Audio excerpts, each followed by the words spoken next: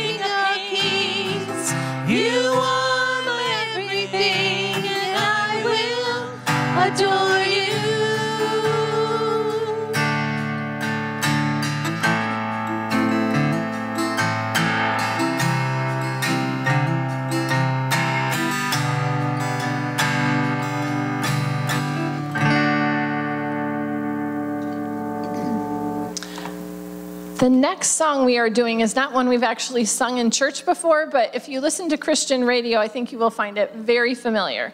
It's Eye of the Storm and the, some of the words of the chorus. In the eye of the storm, you remain in control. In the middle of the war, you guard my soul. You alone are the anchor when my sails are torn.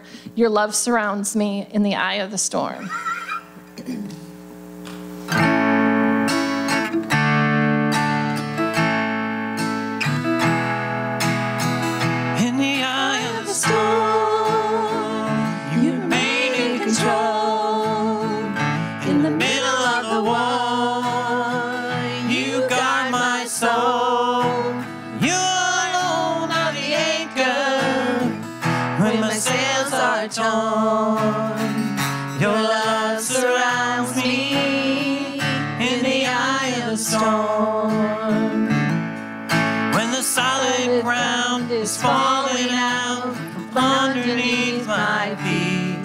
between the black skies and the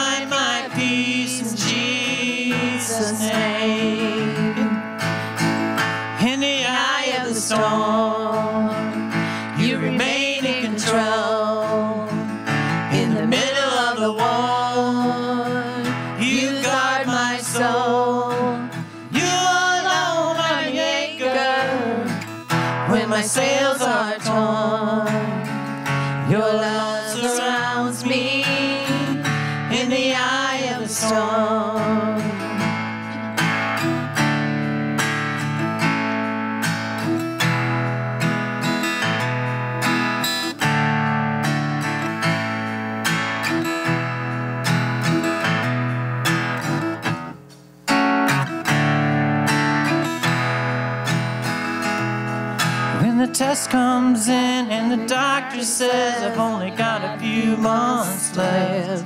It's like a bittersweet pill I'm swallowing. I can barely take a breath. When addiction steals my baby girl and there's nothing I can do. My only hope is to trust in you. In the eye of the storm, you remain in control.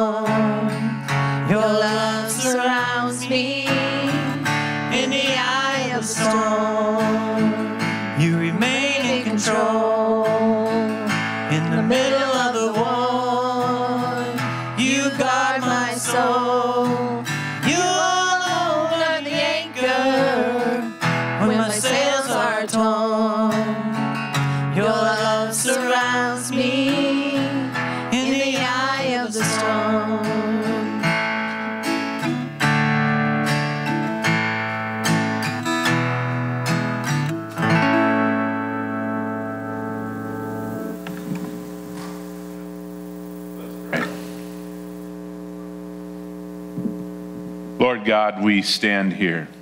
For some of us in the eye of the storm.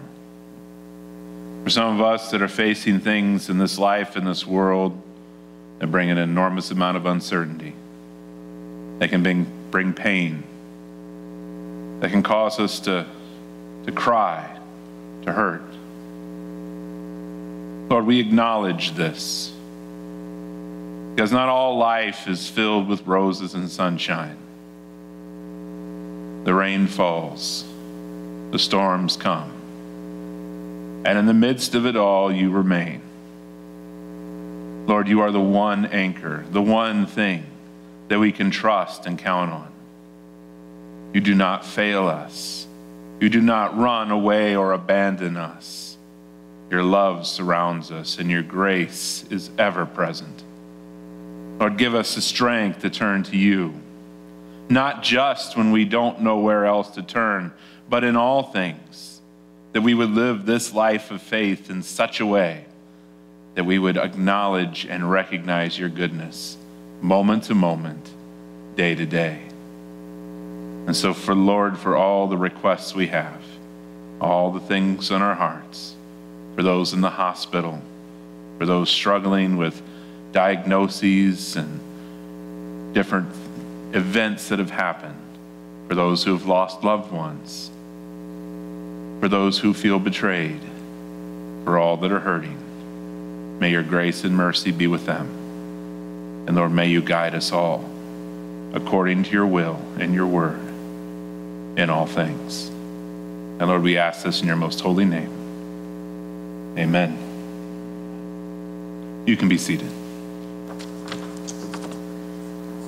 Okay, I'm doing the announcements today. Um, first off, giving. Um, we don't pass the plate anymore, but um, there's a box in the back and also plates in the back, and you can, of course, give online as well.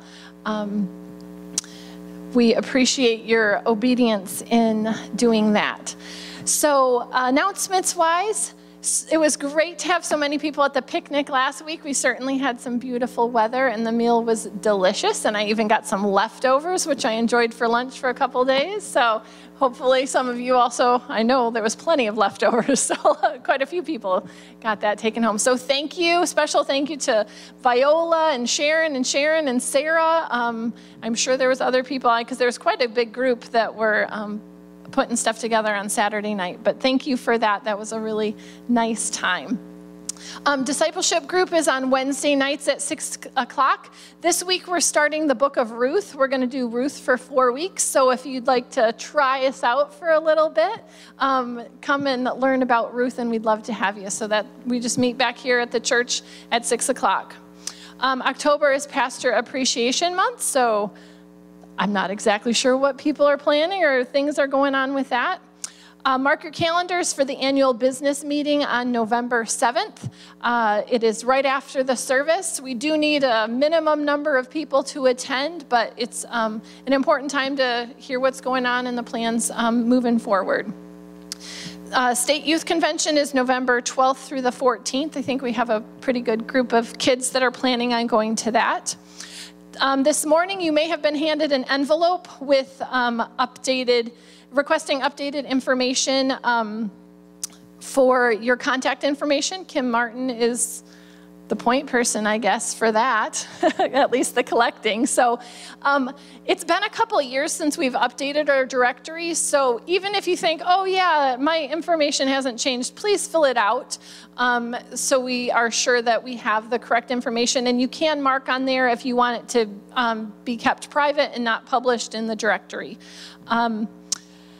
Our Christmas party is December 3rd, and there is a planning meeting on October 10th after the service. So, if you would like to help in the planning of that October 10th, um, stay after church, and um, we can do that. And then look forward to December 3rd. Hopefully, we can have a, another wonderful party. We didn't get to do it last year. So, I think those are all of the announcements.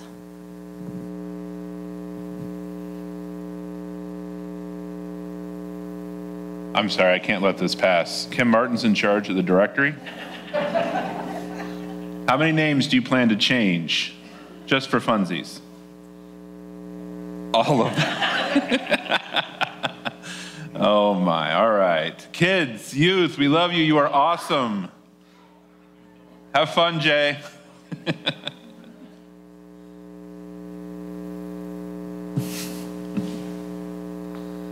Oh.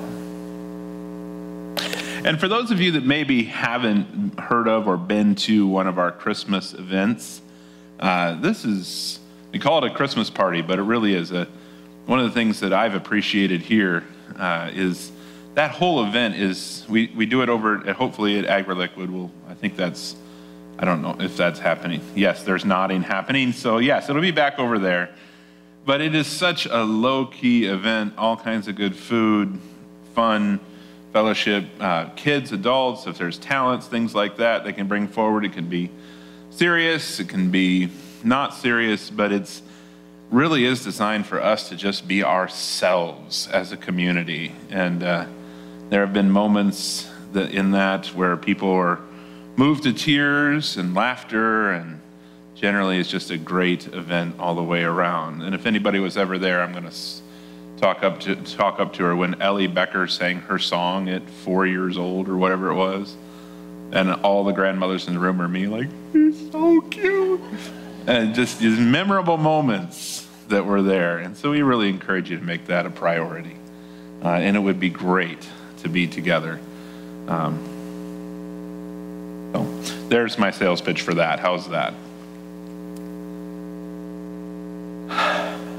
How are y'all doing?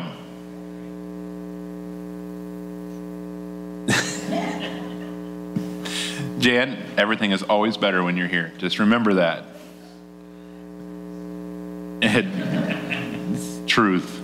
No. Um, I just.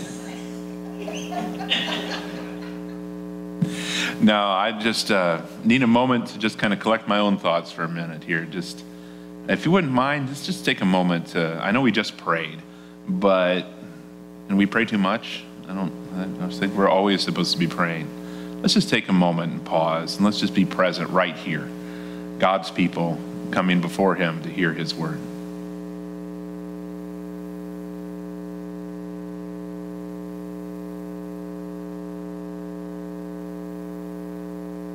Lord, may your work be done here this morning. May the word said be yours. Lord, may your Holy Spirit shape our minds and our hearts. Lord, help us to consider, to reflect. Help us to feel what we need to feel. Lord, help us to see things in new ways. And Lord, most of all today, we seek your will. Show us the path forward and give us the courage to walk it. Amen.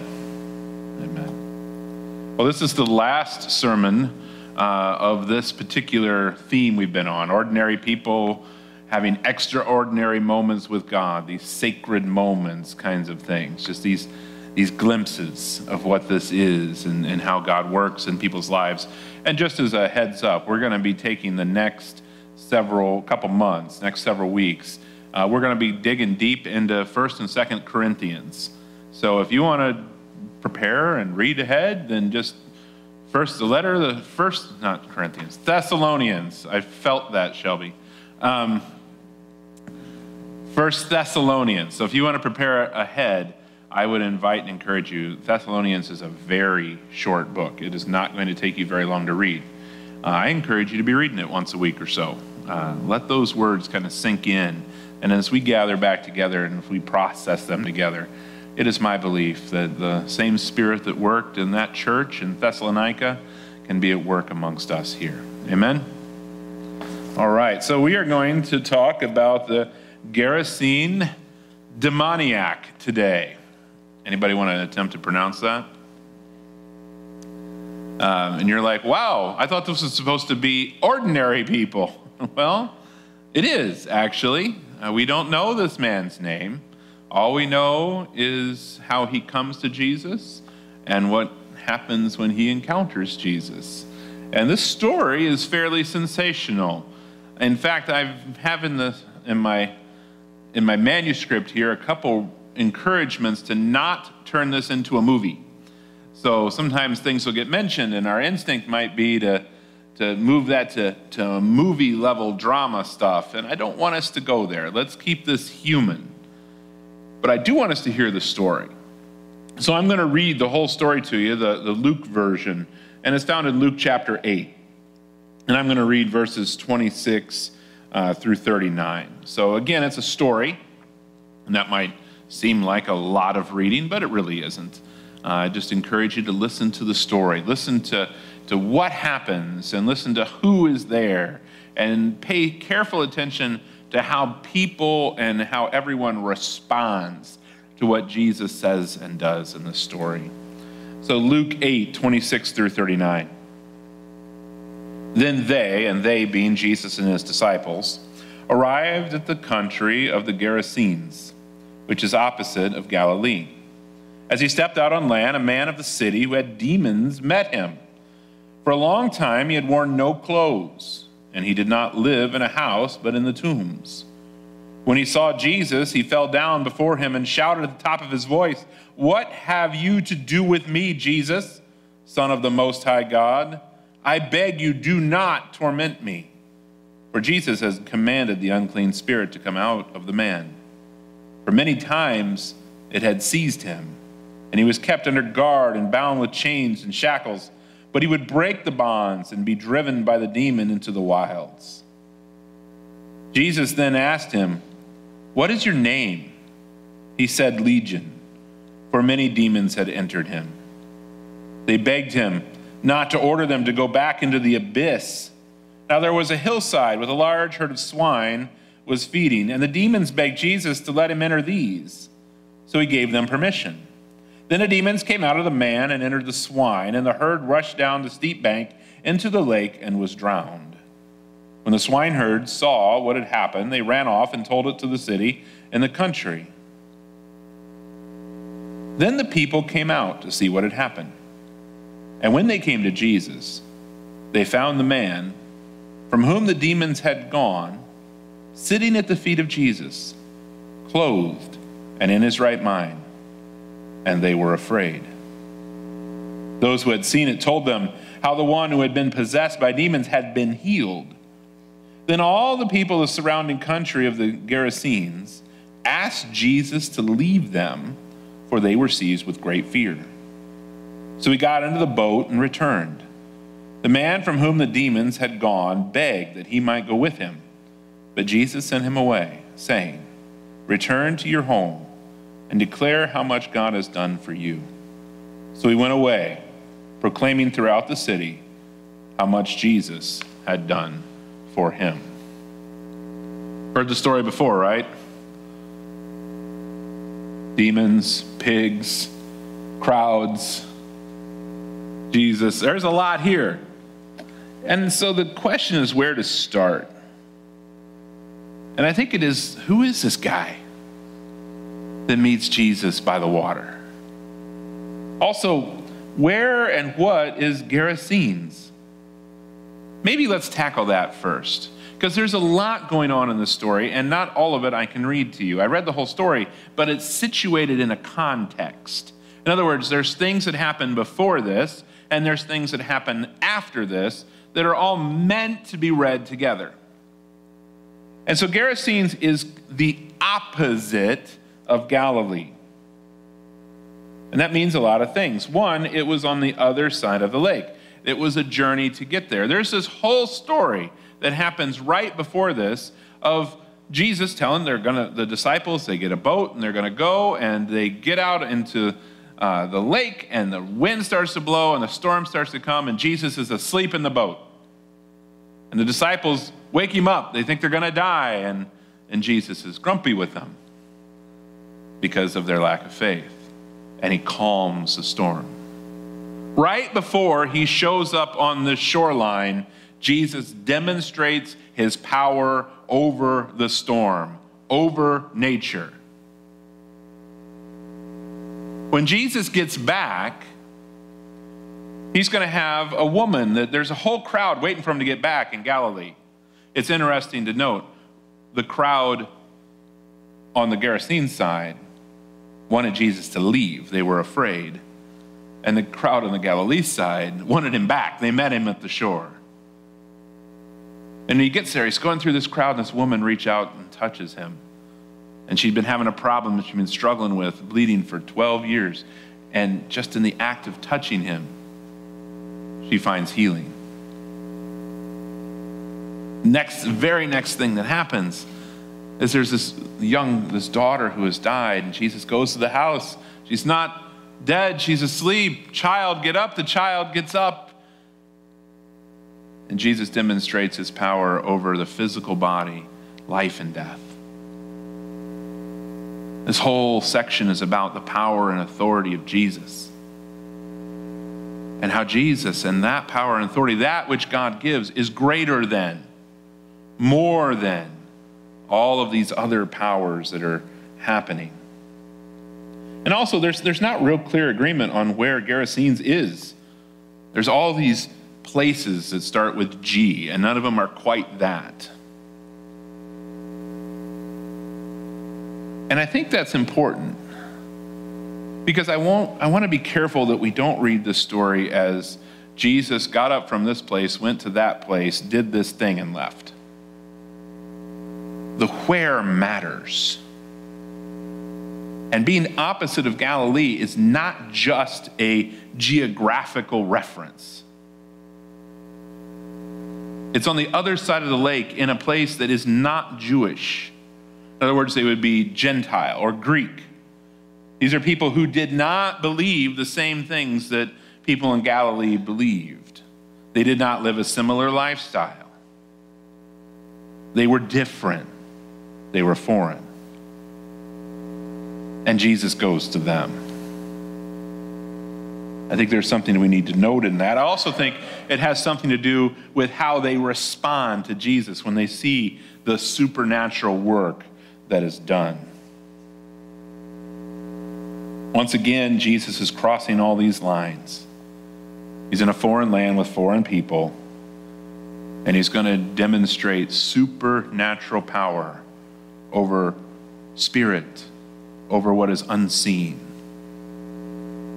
And he's going to bring healing to one no one else could do anything with. The man, he's described in inhuman terms, right? I mean, he's almost feral. I mean, you can almost see him. Like, this is a guy, he's running around naked. Now, before you get too graphic, he's probably in his underwear, but uh, he's not dressed, and certainly not dressed appropriately for society. He lives out amongst the tombs, keeping company with the dead. He'd rather be there than in the city with people, with his family, with people that might know him. When they try to help him, because many times they did, as the way it's described, when they try to help him, even if it's to keep him safe from himself and locking him up, posting a guard, putting chains on his, his hands, he breaks out, he breaks through, and he ends up back out in the wild. You get this picture of a man that's not just troubled, but also aggressive uncontrolled. And you get a picture of a, a community that's tried everything that it can to help this person, and they're unable to do so. Whatever has been troubling him, whatever's causing this aggression, this, this desire for him to be separate from, was greater than anything that they could deal with.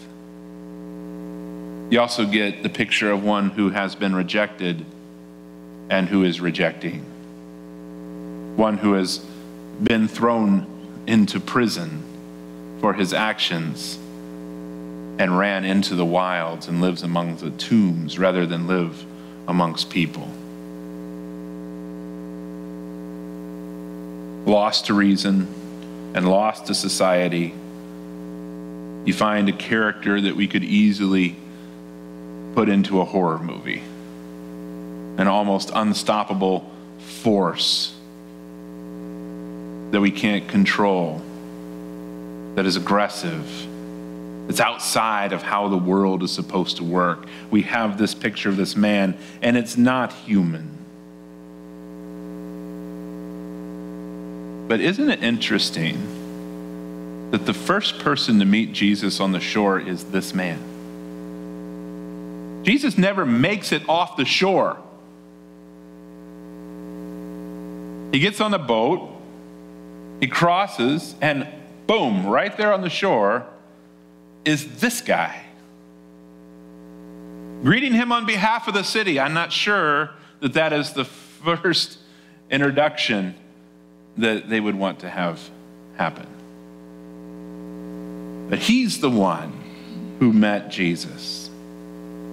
And what do we see happen when he meets Jesus? Does he attack Jesus? Anybody? No. Does he run away from him? No. In fact, you almost wonder like how did he know to be there? He falls down to his knees, perhaps even to his face, in the presence of Jesus. The one who could not be controlled, who would break every chain, who would run into the wilds and live amongst the tombs, the most unclean, violent, dehumanized person you could describe, meets Jesus on the shore and is subdued immediately.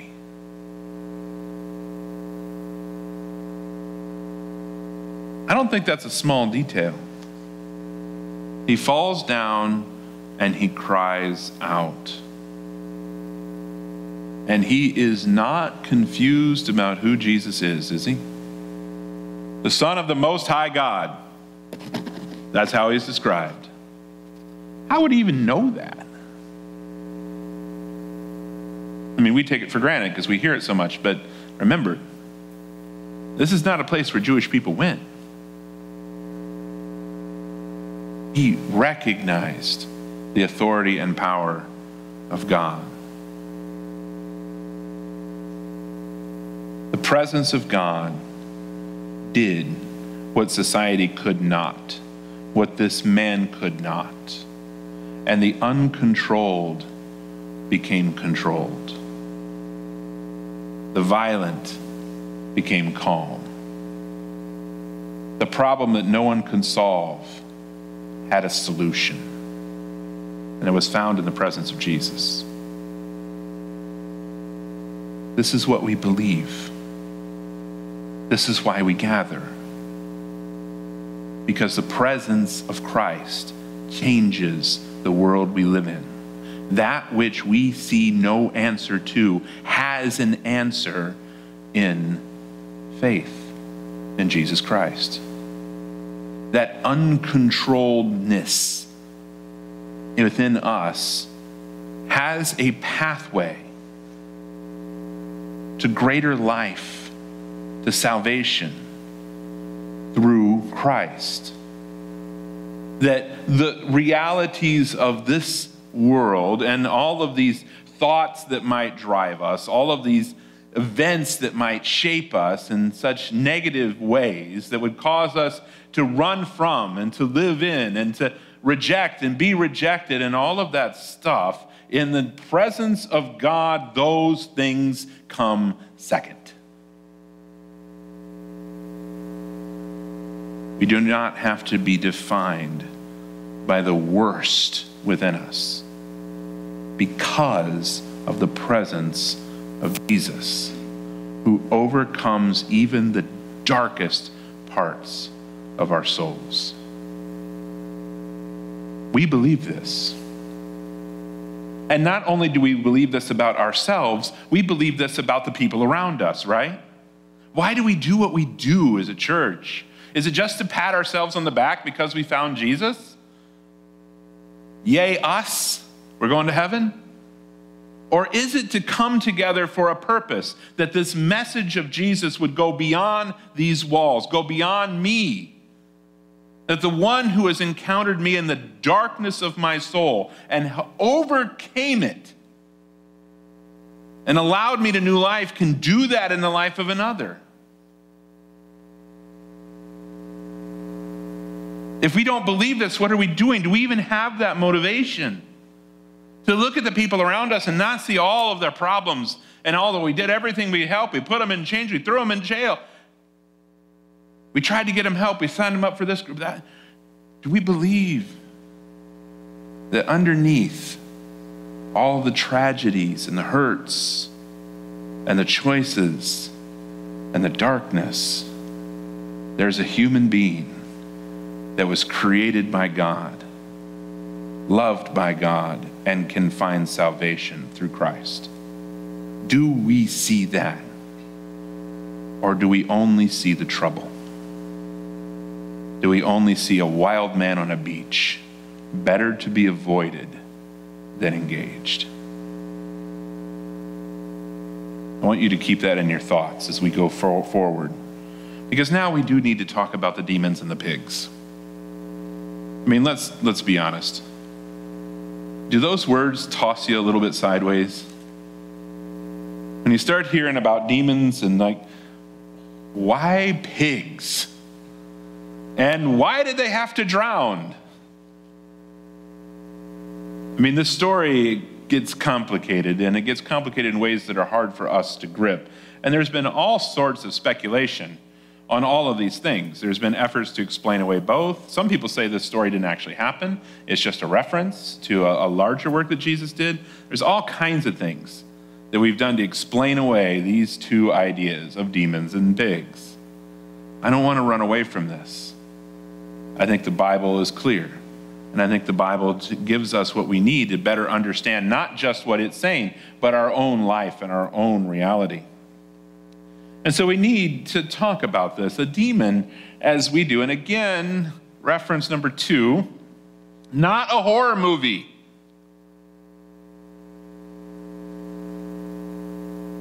Confession time. Has anybody ever seen the movie The Exorcist? Yeah, some of you are just in trouble, aren't you? I read a study as I was preparing for this that much of what we call spiritual warfare is more based out of that movie than it is out of the Bible. Because we like the drama. We like the drama. And so we want to read that into it. And if the guy can twist his head around in a circle, then oh, now we know it's a demon. You know, that kind of thing. It's dramatic. It's not, that's not what this is about. Don't put it into its own separate category that's far removed from our daily life and existence. A demon in this day could be anything that is unexplained and destructive. There's no reason for this man to be acting this way. We don't understand it. He must have a demon. There's a psychological stuff. There are all kinds of things that nowadays we put science language to, but in that time they attributed to the work of spirit. And you know what? They're not wrong. And neither is a science. There's an element in our life that is unexplained, whether it's biological, whether it's something that we've brought into ourselves, uh, whether it's supernatural, all of that. There is this. If you've ever dealt with, or in yourself or with another, of someone who is clinically depressed, it goes beyond logic, it goes beyond reason. What would cause someone, a literal fly just flew into my ear. I apologize. Not a demonic tick, I promise.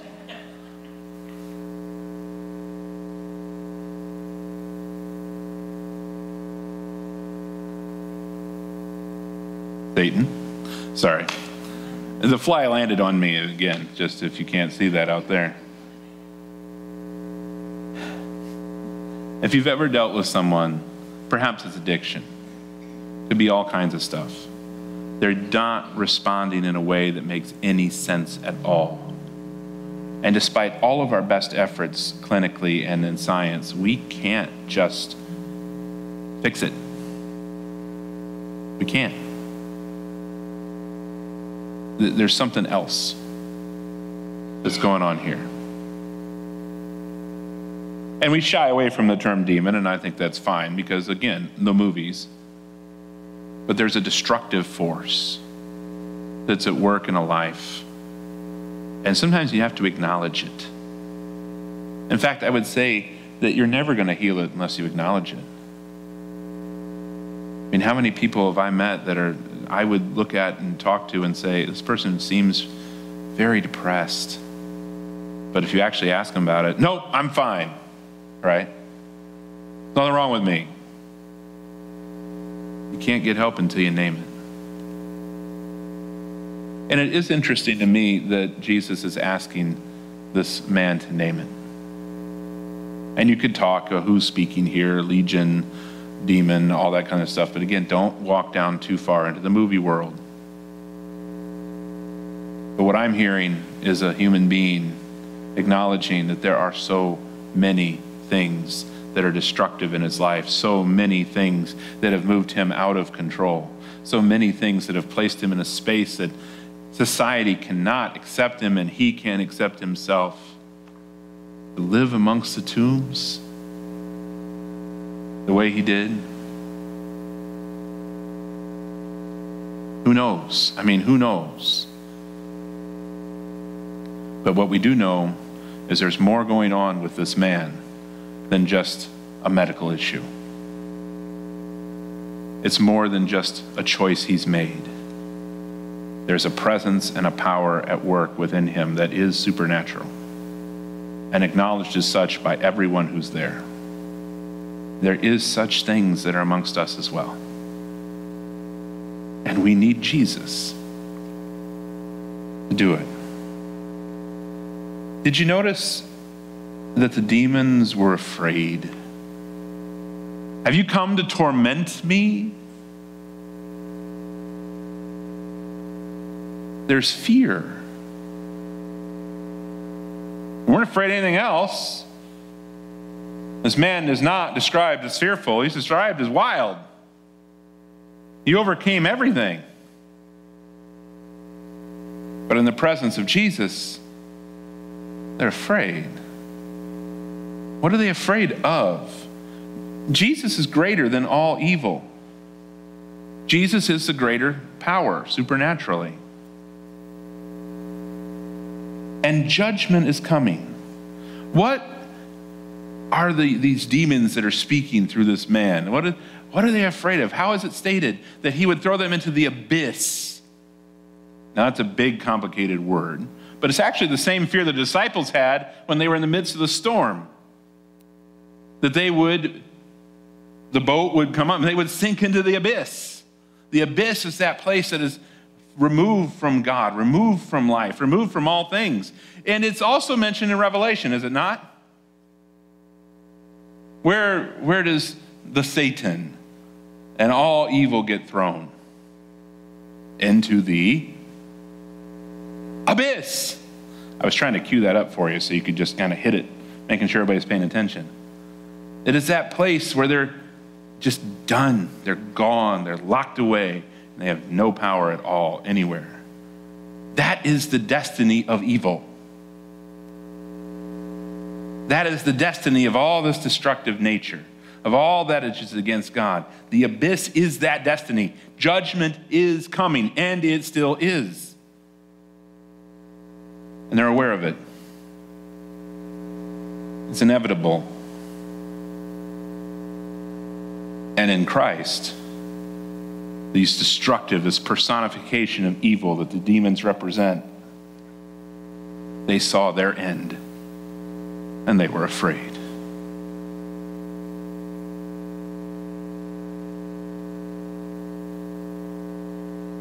Too often in churches, I hear more talk about Satan than I do about Jesus.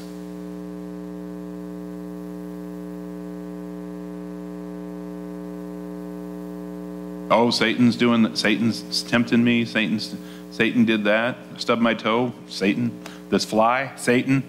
Maybe.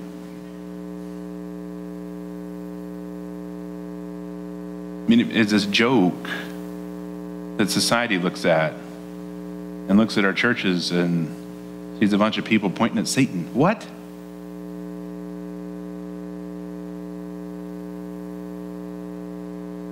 Who's got the power? And if we're Christians, where do we stand? What can Satan do to you? There's a whole conversation here about who Satan is, what it works, the accuser, all this other kind of stuff. Again, we've movieized this so much. Movieized, I just invented that. Somebody trademark it. We've movieized this so much, we can't see the truth through it all.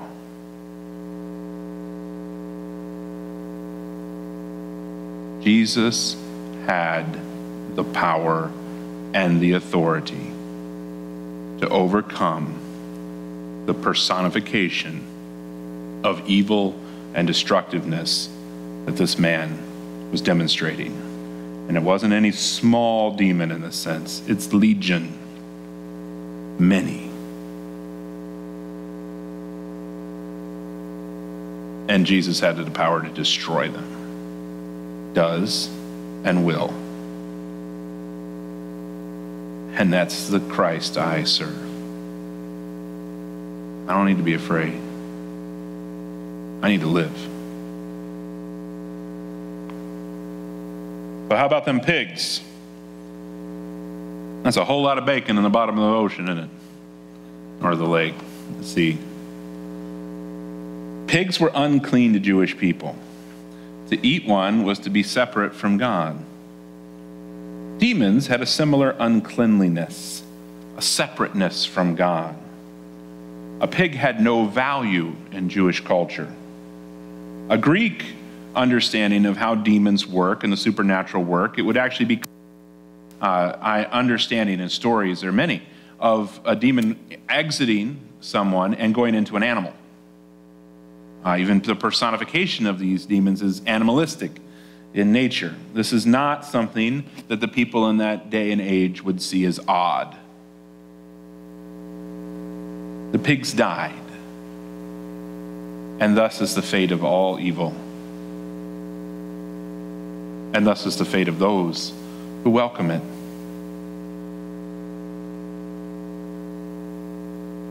It's not really about the pigs. It's not really about the swineherd. They are a picture of uncleanliness, separateness from God. They're an escape for this destructive and evil nature away from the abyss. And where do they end up anyway? Drowned in the abyss.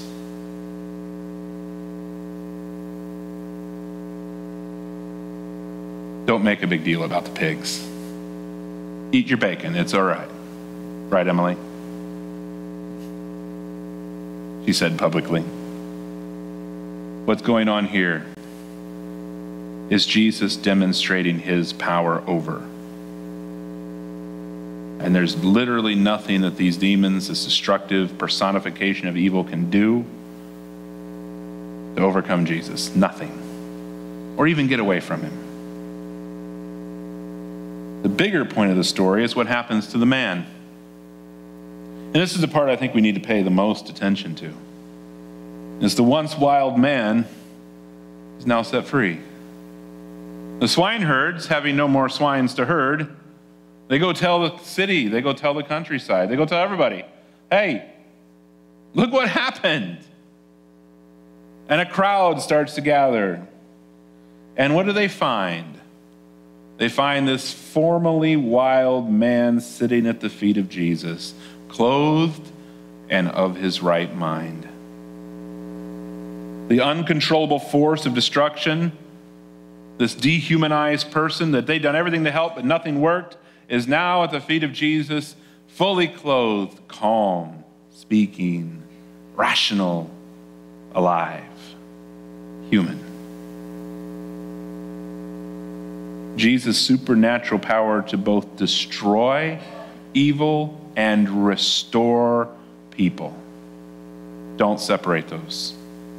To destroy what was wrong and evil and to restore humanity. The evil within this man is done, and now he gets to be human. He's not to be defined any further by his nakedness or his violence. He will forever now be defined by the restorative, salvific salvation work that Jesus did in him, because that's always the work of Jesus. He is the recreator, He is the redeemer, and He is the Savior. And that's what He does. No power at work within us, no matter how evil, can overcome the salvation, the redemption found in Christ. I was hoping for an amen on that one. Nothing can. The crowd is left fear filled. Why? They ask Jesus to leave uh, in one voice. They all, all who were gathered, you get out of here. Jesus. This story terrified them. Remember who they are. They're not Jewish, they're Gentile. And there's a whole lot of Roman references in the story that I did not want to dig into. But if you ever wanted to, Jesus is making a very clear point that isn't just about a man and the demons and the pigs, about not just his power supernaturally, but his power politically. people seem to be afraid that Jesus would upend their way of life. If Jesus can take that guy and make him into this one, what can he do? What will he do? If a whole herd of pigs is now drowned in the sea, what could happen? Jesus was something they could not explain or explain away. He remains someone that we can't fully explain and people can't explain away despite their efforts to do so. And I believe we need to be careful here. Because today, the people that seem most afraid of Jesus are often found in churches. Jesus has a way of upsetting the apple cart, of changing the status quo, of reaching people who might be considered unreachable. And then he puts them in our midst. That former drunk with a reputation as a cheat all of a sudden might become the worship leader. That's a true story from a church I served. That person you don't expect anything from. In the presence of God, humanity is restored, and they get to live the life that they were created to live. And too often we put roadblocks in that way.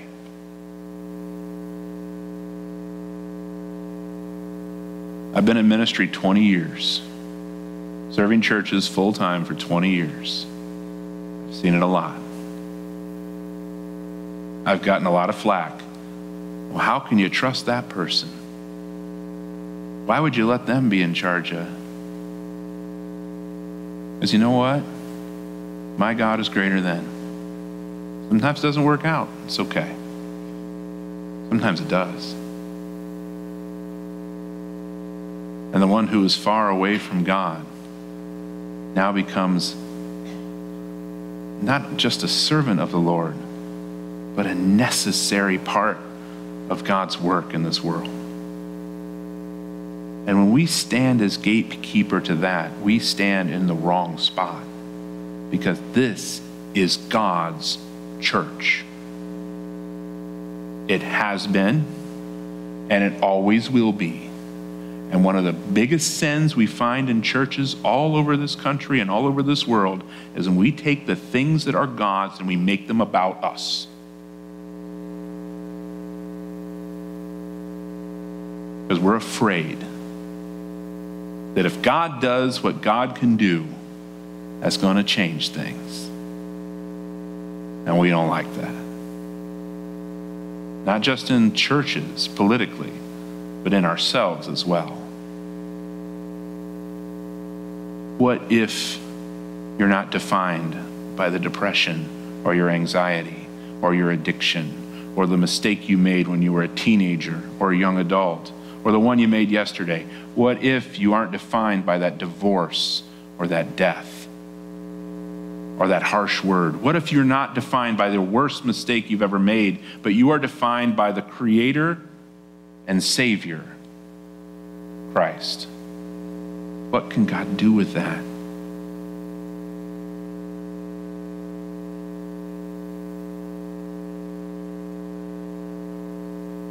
People are fearful of walking into a church, not because they're afraid of Jesus, because they expect to be judged by the ones who God has put together to demonstrate his love and his salvation. Let's change that.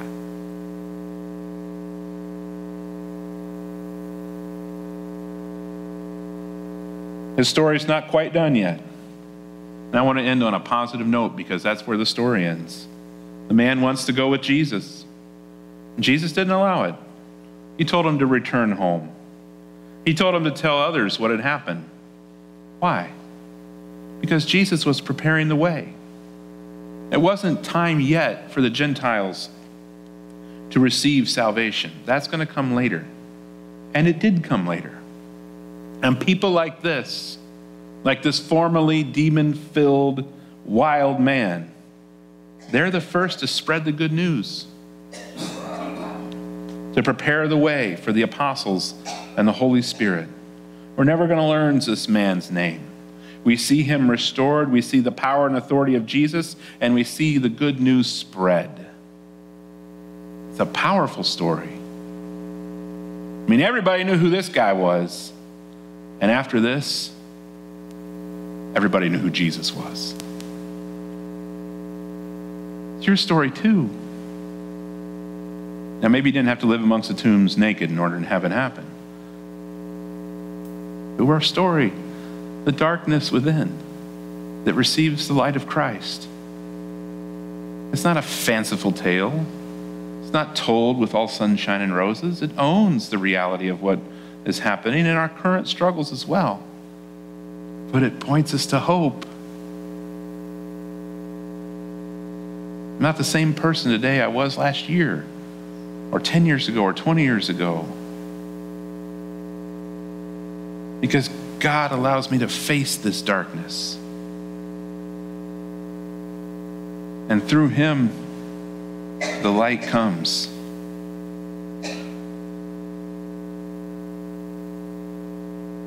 This is our story. Might not be so dramatic, yet it has similarity.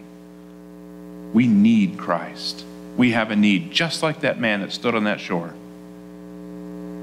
We find the presence of God in Christ. He is present with us. We encounter the Savior, and then we receive our call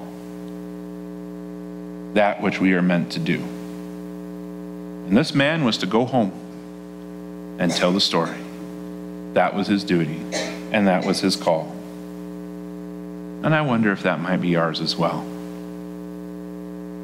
We like to make everything fit into easy to understand boxes, and so we can fill out our spreadsheets and say, Well, I talked to this many people about Jesus this week, and I prayed this many prayers, and I read this many verses, and all of that kind of stuff. But you know what? Hey, all those things are great. But behind it is a heart. Behind it is a heart that says, I have encountered the presence of God and I am different. I've got darkness, but because of Jesus, I've got light. And the light is greater than the darkness. And the darkness cannot overcome it. If I'm quoting scripture, yes. If it sounds like I'm quoting scripture, yes, I am. A fundamental truth. That if the light is greater than the darkness, then that is the one we are to serve. And we can go out from this place, we can come into this place through our whole lives, through how we interact and what we do. We can demonstrate this salvation, this redemption, this life that Jesus gives.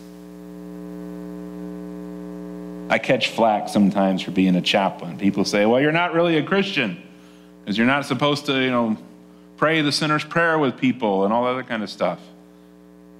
And I look at him and say, every single room I walk into, I bring the presence of God with me. And yeah, my job isn't to go in there and pound the Bible on them. But I am one saved by grace. And there's no escaping that. And every act of love that and compassion that I give is from Christ.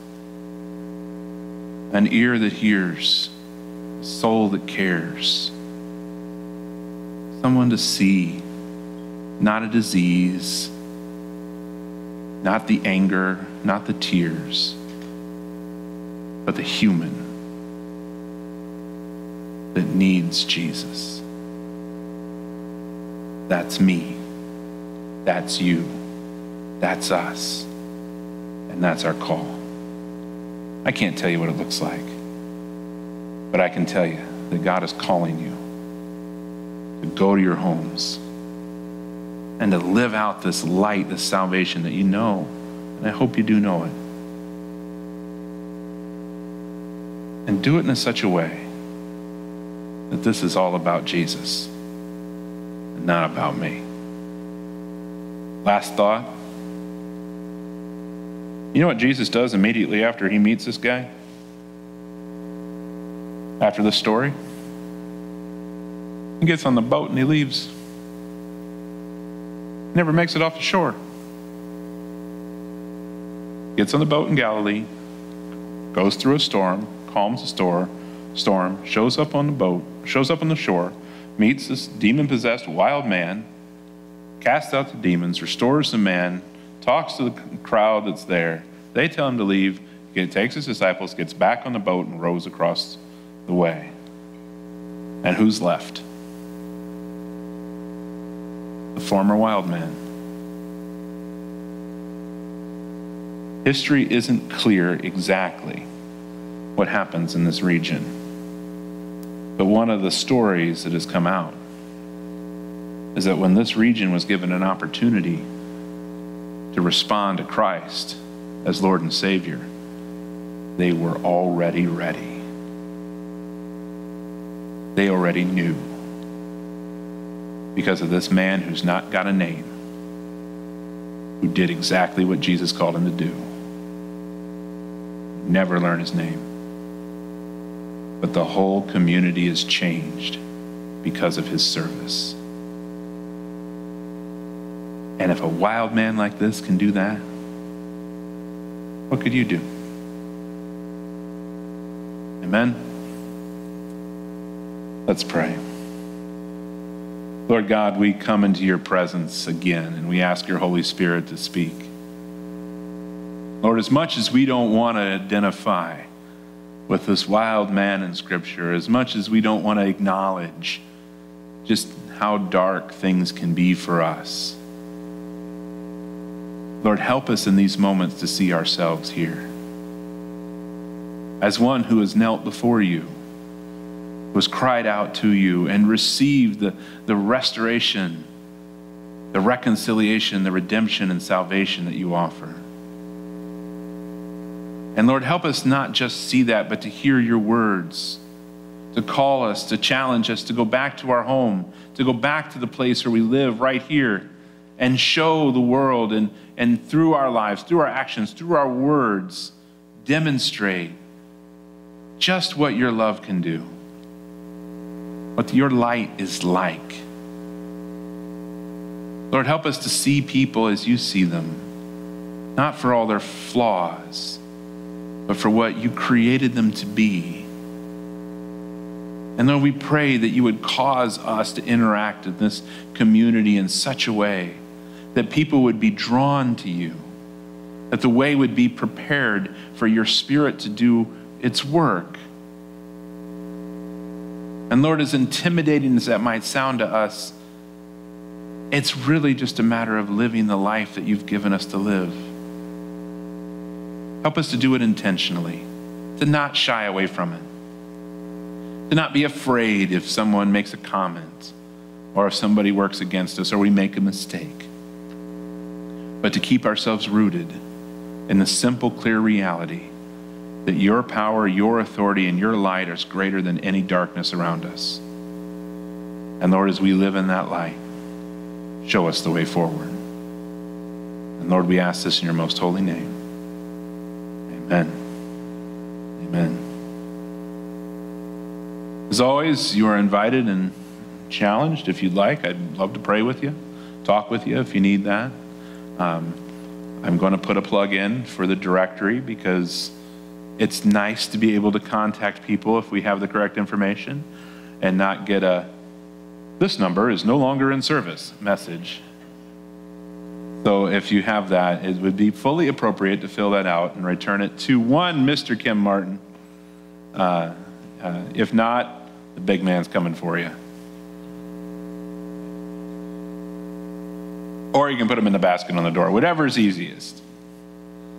But uh, and uh, my wife and I, we're going to be going to Arby's today for lunch because that's where we like to go now. So uh, if you anybody wants to join us, just show up. We'll be there. As you leave from this place today, may the light of Christ go with you, the light that overcomes all darkness. May it shine upon you. May you know the salvation of Christ, and may you show others his love and his grace. Amen. Amen. Go in the peace and love of Christ.